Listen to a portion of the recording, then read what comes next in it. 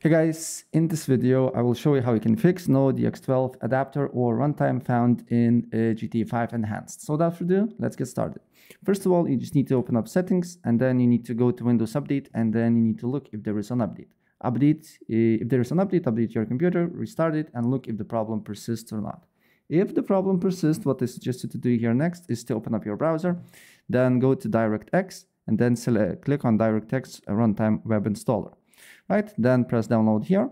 And once it's downloaded, you should see uh, this setup here.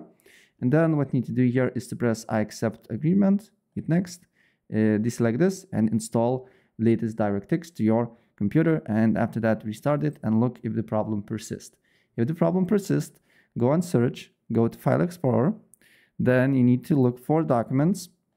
And then here on, under the do documents, you should see Rockstar Games go to GTA 5 Enhanced, uh, go on View, then select Show, make sure file name extensions is selected, and then on this folder, you need to look if the settings.xml is uh, on your files. If you cannot see this kind of file, what you need to do here, you need to open a browser, then you need to look for on Google settings.xml uh, GTA 5 and probably it will be the second option here by GTA 5 mods select it, and then you just need to download it here.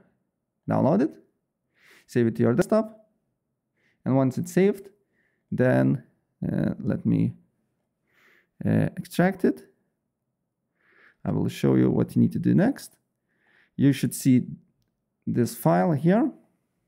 Then right click on it, uh, open with or extract all and extract to your uh, computer. Then you should see, uh, press on FPS booster, and then you, you should see this file here. And after you got this file, you just need to right click on it, uh, open file, and then select notepad.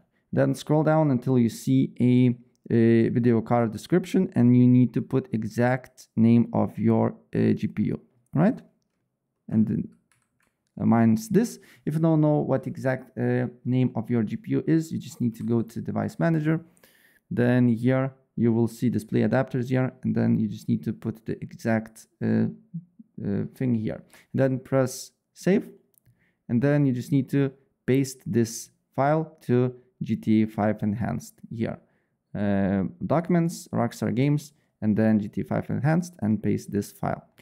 And if this do not work, then you just need to go to settings, then go to system, then scroll down a bit until you see optional features, select add an optional feature here and then you just need to write graphics tool.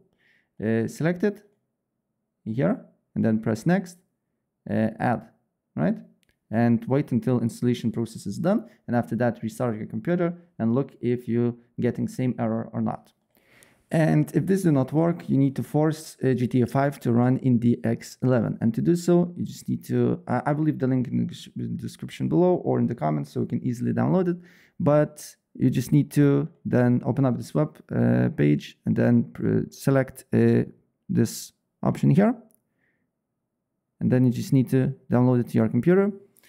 And once it's downloaded, you can uh, extract it and paste it to you need to paste this file, dx, uh, d3d12.dll to a GTA 5 uh, uh, basically file directory. And to do so, you just need to open up your client. In my case is uh, Steam. I just need to right click on GTA 5 Enhanced Properties, install files and browse here. And then you just need to paste the file here and uh, restart Steam and look if the problem persists or not right? So yeah, that's basically it. Uh, all the links will be in the pinned comments in the, uh, uh, in the comment section. So yeah, if I help you out, please press like.